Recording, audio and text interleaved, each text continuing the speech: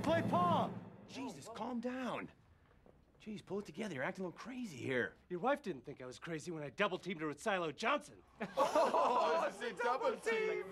Yeah, that's right. Never knew it was a three-way, did you? With the silo? Yeah. And let me tell you something. He wasn't storing corn in that thing. Son of a bitch! Fuck it. I quit. Barry. The fuck is that? Are we playing or not? Time to scheiße. I'll get off the crapper. Get bent.